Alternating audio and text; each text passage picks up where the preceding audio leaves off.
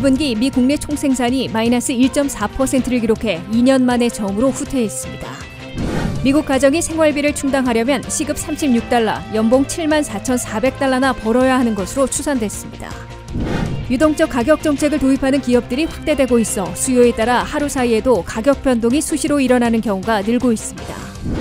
물가 급등을 잡기 위해선 연준이 기준금리를 0.5%포인트씩 4번은 인상해야 할 것으로 계산되고 있습니다. 조 바이든 대통령은 우크라이나에 수백억 달러를 쏟아붓고 있는 반면 블라디미르 푸틴 대통령은 에너지로 660억 달러를 번 것으로 나타났습니다. 여러분 안녕하십니까? 워싱턴 뉴스 투데이입니다. 미국 경제의 1분기 GDP 성장률이 마이너스 1.4%를 기록해 2년 만에 처음으로 후퇴해 우려를 낳고 있습니다. 다만 미국 경제를 지탱하고 있는 소비 지출이 계속 늘고 있고 기업 투자도 증가해 곧 반등할 것으로 보여 불경기의 신호는 아닌 것으로 평가되고 있습니다. 박남주 기자가 보도합니다. 미국 경제가 올해 1분기 예기치 않게 뒷걸음해 충격을 가하고 있습니다. 미국 경제의 국내 총생산은 1분기인 올 1월부터 3월까지 마이너스 1.4%를 기록했습니다. 팬데믹이 시작됐던 2020년 1분기 마이너스 5.1%를 기록한 이래 2년 만에 첫 후퇴입니다. 특히 지난해 4분기 플러스 6.9% 성장에 비하면 급속히 얼어붙었음을 보여주고 있습니다. 미국 경제 성장률이 올 1분기 2년 만에 첫 후퇴를 기록한 것은 공급망 문제로 미 업체들의 재고 확보가 줄어들었고 수출보다 수입이 훨씬 많아 무역 적자가 급증한 데다 국방비를 비롯한 정부 지출이 급감했기 때문으로 나타났습니다. 1분기 미국 수출은 5.9% 감소한 반면 수입은 17.7%나 급증해 무역 적자가 확대됐습니다. 국방비 지출은 8.5%나 급감했습니다. 다만 미국 경제의 70%나 차지하고 있는 미국민 소비 지출은 올 1분기에도 2.7% 증가했습니다. 상당 부분은 물가 급등에 따른 것이지만 강력한 고용 시장으로 미 국민들이 여전히 지갑을 열고 있음을 반증해 주고 있습니다. 기업들의 투자도 1분기에 2.3% 늘어났습니다. 소비 지출과 기업 투자가 1분기에 계속 늘어났기 때문에 미국 경제가 2분기와 3분기에는 마이너스 성장에서 급 반등하게 될 것임을 예고하는 것으로 경제 분석가들은 해석하고 있습니다. 월스트리트 저널과 CNBC 등 경제 전문 미 언론들은 이번 1분기 미국 경제의 마이너스 성장은 예상치 못한 것이지만 불경기의 신호로 간주되지는 않고 있다고 강조했습니다. 향후 미국 경제의 앞길에는 갖가지 도전 과제들이 도사리고 있으나 강한 회복력으로 올해 불경기에 빠질 가능성은 그리 높지 않은 것으로 월스트리트 저널과 CNBC 등 미 언론들은 보도하고 있습니다. 미국 경제의 중요 변수로 첫째, 연준이 5월 4일 기준금리를 0.5포인트 인상하는 등 서너 차례 공격적인 연쇄 금리 인상에 나설 게 분명하고 한 달 950억 달러씩 자산을 축소해 시중에 풀릴 돈을 걷어들이는 긴축에 돌입합니다. 둘째, 러시아와 우크라이나 전쟁이 언제 어떻게 끝나느냐에 따라 유가와 물가 급등이 완화될지 더 악화돼 불경기까지 초래할지 판가름 나게 됩니다. 현재까지는 미국 경제가 앞으로 1년간 유가와 물가를 획기적으로 잡을지는 미지수지만 불경기에 빠질 위험은 그리 높지 않은 것으로 경제 분석가들은 내다보고 있습니다. 옥스포드 경제학의 예측에 따르면 미국 경제 성장률이 2분기부터 플러스로 반등해 결과적으로 올해 3.1%의 플러스 성장을 기록하게 될 것으로 내다봤습니다. 월가 경제 분석가들 다수는 미국 경제가 올해 2.6% 성장해 2019년과 같을 것으로 예상하고 있습니다. WKTV 뉴스 박남주입니다. 미국에서는 4인 가정이 물가 급등 속에서 생활비를 충당하려면 시급 35달러 80센트, 연봉으로 7만 4,400달러나 벌어야 하는 것으로 추산됐습니다. 그러나 미국 내 3,100곳의 카운티들 중에 이 같은 기준을 충족하고 있는 곳은 단 두 곳에 불과한 것으로 나타났습니다. 김지수 기자의 보도입니다. 미국에서는 40년 만에 물가 급등으로 생활비가 천정부지로 치솟고 있는 반면 소득 증가는 그에 못 미쳐 대다수가 생활고를 겪고 있습니다. 미국에서 4인 가정이 급등한 생활비를 충당하려면 시급으로 35달러 80센트, 연봉으로는 7만 4,400달러를 벌어야 하는 것으로 계산됐다고 CBS 뉴스가 보도했습니다. 미국민들의 3월 중 평균 시급은 31달러 73센트, 연봉으로는 6만 6천 달러이기 때문에 전반적으로 생활비를 충당하지 못하고 있습니다. 게다가 미국의 소비자 물가는 3월에 8.5%나 급등한 반면 소득은 5.6% 올라 미국민들의 실질 소득은 오히려 3%포인트나 하락한 셈이 됐습니다. 특히 미국 내 3,100개 카운티들 중에 이러한 기준에 충족하고 있는 여유로운 카운티는 단 두 곳에 불과하다고 CBS 방송은 전했습니다. 핵 연구소가 있는 뉴멕시코주의 로스 알라모스 카운티는 중위소득이 11만 1000달러여서 생활비를 충당하고 있고 내시빌 근처인 테네시주 윌리암슨 카운티는 11만 8천 달러의 소득으로 여유 있는 곳으로 꼽혔습니다. 이들 두 카운티들은 거주민들의 중위소득이 매우 높은 반면 생활비는 저렴해 고품질의 생활 수준을 누리고 있는 것으로 평가되고 있습니다. 생활비에는 식품과 주택, 자녀 보육, 의료, 교통비 등을 포함하고 있어 카운티별로 큰 차이를 보이고 있습니다. 가장 생활비가 적게 들어 시급이 낮아도 충당할 수 있는 곳은 미시시피주의 홈스 카운티로 29달러 81센트면 되는 반면 가장 비싼 샌프란시스코에서 살려면 시급이 65달러 45센트는 돼야 가능한 것으로 나타났습니다. 전반적으로 미국의 생활 필수품 가운데 식품 가격은 3월 중에 8.8% 올랐으나 주로 사야 하는 품목들은 모두 두 자릿수로 급등해 장바구니 체감 물가 상승은 훨씬 심한 것으로 간주되고 있습니다. 3월에도 쇠고기는 20.4%, 돼지고기는 15.3%, 닭고기는 13.4% 급등했습니다. 과일은 19.5%, 식용유 15.8%, 우유 13.3%, 달걀 11.2%, 생선 10.9% 올라 모두 두 자릿수로 뛰고 있습니다. WKTV 뉴스 김지수입니다. 이제 세제를 살 때도 아침과 저녁 가격이 달라지지 않았는지 잘 살펴야겠습니다. 기업들이 인공지능과 빅데이터 분석 기술을 이용하면서 하루에도 가격이 여러 번 바뀌는 이른바 dynamic pricing을 적극 도입하고 있는데요. 항공사와 우버 같은 기업이 먼저 유동적 가격 정책을 시행했는데 이제 레고 같은 장난감에까지 적용되면서 소비자들에게 더 공정한 건지는 모르겠다는 반응이 많아지고 있습니다. 박남주 기자가 짚어봤습니다. 오후 3시 우버를 타고 타임스퀘어에서 센트럴파크까지 간다면 17달러 가량을 요금으로 내야 합니다. 오후 6시가 되면 어떨까요? 퇴근 시간으로 수요가 몰리면서 같은 코스를 24달러에 이용할 수 있습니다. 이렇게 이용 시간, 소비자의 수요에 따라 가격이 유동적으로 변하는 것을 dynamic pricing이라고 합니다. 우버나 항공사처럼 수요가 높을 때 가격이 더 높아지는 것은 이제 익숙합니다. 하지만 이런 dynamic pricing이 생각하지도 못한 제품까지 확대되고 있습니다. 세탁 세제나 블라우스 같은 물건에도 AI가 가격을 정해주는 유동적 가격 정책이 시작되고 있는 겁니다. 기업들이 dynamic pricing을 확대하고 있는 건 인공지능과 빅데이터 분석 기술이 발달하면서 정교한 가격 정책이 가능하기 때문입니다. 원래 가격이라면 구입하지 않았을 고객에게는 값을 낮추어 물건을 사도록 유도하고 반대로 가격을 올려도 기꺼이 제품을 구입할 고객에게는 인상된 가격을 제시하는 겁니다.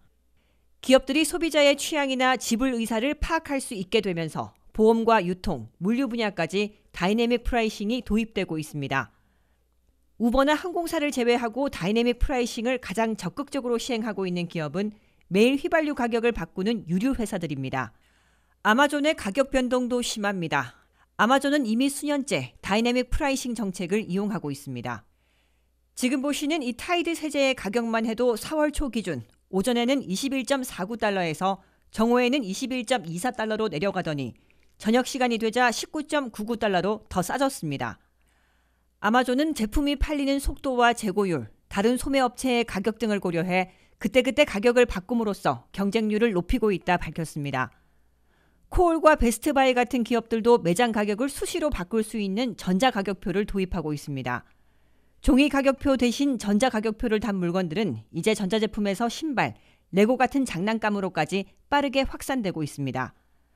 합리적인 이유 없이 같은 제품에 대해 가격 차별을 둘 경우 고객의 불만으로 이어질 수도 있습니다.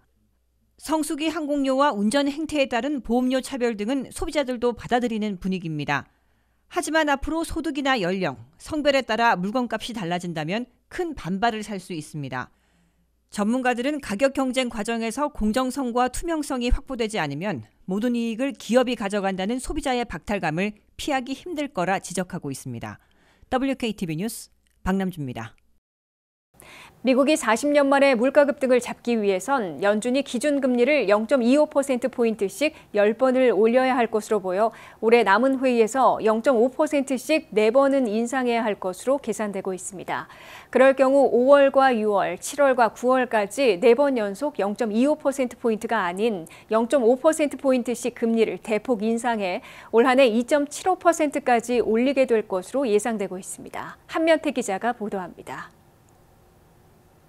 소비자 물가가 8.5%나 급등해 있는 미국의 물가 급등을 잡기 위해서는 미국 중앙은행인 연방준비제도가 올 한 해 0.25포인트씩이면 10번이나 금리를 올려야 할 것으로 경제 분석가들은 계산하고 있습니다.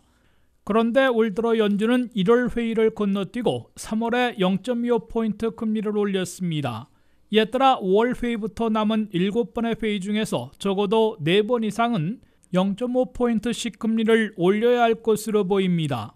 제롬 파월 의장을 비롯한 연방준비제도의 고위 인사들은 이미 5월에 0.5포인트 올리는 것은 물론이고 그 이후에도 연쇄적으로 공격적인 인상을 예고해 놓고 있습니다. 네 번 연속으로 공격적인 0.5포인트씩 금리를 인상할 경우 5월 4일과 6월 15일, 7월 27일, 9월 21일에 모두 대폭적인 금리 인상을 단행할 것으로 보입니다. 그런 다음 물가가 잡히느냐에 따라 11월 2일과 12월 14일에는 0.25포인트로 인상폭을 낮출지 결정하게 될 것으로 예상되고 있습니다. 물가 잡기에 올인하고 있는 연준이 이 같은 시사나 예측에 따라 기준금리를 올리게 되면 올 연말 미국의 금리는 2.75%까지 올라가게 됩니다. 연준은 당초 올 연말 2%까지 금리를 올릴 것으로 예고했다가 물가 급등이 갈수록 악화되자 당초보다 0.75포인트나 더 올리려는 것으로 해석되고 있습니다. 하지만 연준의 연쇄 금리 인상으로도 미국의 물가 급등은 이른 시일 내 잡히지는 않을 것으로 기정사실화되어 있습니다. 연준의 연쇄 금리 인상 조치로 미국민 소비자들과 사업체에서 돈을 덜 빌리고 덜 쓰게 만들어 수요를 다소 냉각시켜 물가를 어느 정도 낮출 수는 있어도 유가 급등을 불러온 러시아의 우크라이나 전쟁과 공급난을 연장하고 있는 중국의 코로나 봉쇄 등 공급 측면은 통제할 수 없기 때문입니다. 연준은 기준으로 삼고 있는 PC 소비 지출 물가를 현재 7%에서 올 연말에는 4.3%로 낮추고 내년 말에는 2.7%로 추가 인하할 수 있을 것으로 예고했습니다. 연준은 PCE로 한 해 2% 상승을 정책 목표로 삼고 있는데 연쇄 금리 인상으로도 올 연말에는 목표보다 두 배 이상이 되고 내년 말에도 목표에 도달하지는 못할 것으로 시인하고 있습니다. WKTV 뉴스 한면택입니다. 러시아의 우크라이나 전쟁이 석 달째 접어든 시기에 조 바이든 대통령은 우크라이나에 136억 달러를 제공한 데 이어 300억 달러를 추가 지원하려는 반면 블라디미르 푸틴 대통령은 에너지를 팔아 두 달 만에 660억 달러를 벌어들인 것으로 나타났습니다. 바이든 대통령은 직접 참전하지 않으면서도 수백억 달러를 쏟아붓고 있는 반면 푸틴 대통령은 원유와 천연가스, 석탄 등 에너지를 주로 유럽 지역에 수출해 예전보다 두 배 늘어난 거액을 벌어들였습니다. 김윤미 기자의 보도입니다. 미국과 러시아의 이른바 쩐의 전쟁에서 경제 제재 카드를 꺼내든 조 바이든 대통령보다 제재당한 블라디미르 푸틴 대통령이 이기고 있는 예기치 않은 결과가 나오고 있습니다. 조 바이든 대통령은 러시아로부터 침공당하고 무차별 공격을 받고 있는 우크라이나에 미군들을 직접 파병하지 않을 것임을 분명히 하는 대신 무기 제공을 비롯한 안보 지원, 경제, 인도적 지원을 지속하고 있습니다. 바이든 대통령은 올 들어 현재까지 우크라이나에 136억 달러를 지원했습니다. 그중 8차례에 걸친 무기 제공으로 37억 달러를 우크라이나에 보냈습니다. 경제 지원과 인도적 차원의 지원도 제공했습니다. 바이든 대통령은 136억 달러를 거의 다 쓰고 9월 말까지 쓸 수 있는 우크라이나 지원금으로 300억 달러를 책정해 의회에 승인해 줄 것을 요청했습니다. 300억 달러 가운데 200억 달러가 안보 지원 예산이며 50억 달러치의 무기를 추가 제공할 계획입니다. 85억 달러는 경제 지원이고 30억 달러는 인도적 차원의 지원금으로 정했습니다. 직접 참전이 아닌데도 수백억 달러를 우크라이나에 보내야 하는 바이든 대통령에 비해 푸틴 러시아 대통령은 전의 전쟁 초기에서는 오히려 이익을 두 배로 늘린 것으로 나타났습니다. 푸틴 대통령은 2월 24일 우크라이나 침공을 개시한 이래 두 달 동안 원유와 천연가스, 석탄 등 에너지원을 수출해 660억 달러를 벌어들인 것으로 집계됐습니다. 이는 예전보다 에너지 판매 대금이 두 배나 늘어난 겁니다. 아직 러시아산 오일과 가스에 대한 엠바고가 단행되지 않고 있기 때문에 주로 유럽 지역 수출이 더 늘어난 걸로 해석됩니다. 러시아산 원유와 천연가스, 석탄 등 에너지원의 71%는 유럽 국가들이 사들이고 있습니다. 러시아산 에너지에 가장 많이 의존하고 있는 독일이 이 두 달 동안 91억 유로, 미화로 96억 5천만 달러를 지불했습니다. 이태리가 69억 유로, 72억 5천만 달러치를 사들였습니다. 3위는 유럽이 아닌 중국으로 67억 유로, 70억 3,500만 달러를 러시아의 에너지 대금으로 지불했습니다. 이어 네덜란드 56억 유로, 58억 8천만 달러, 터키 41억 유로, 43억 500만 달러, 프랑스 38억 유로, 39억 9천만 달러를 러시아에 보냈습니다. 유럽 각국들이 원유와 천연가스 등의 대체 수입선을 찾고 오일가스 엠바고를 단행하기까지는 푸틴 러시아 대통령이 전비 마련에 타격을 입지 않아 우크라이나 공격을 멈추지 않을 것으로 우려되고 있습니다. WKTV 뉴스 김유미입니다.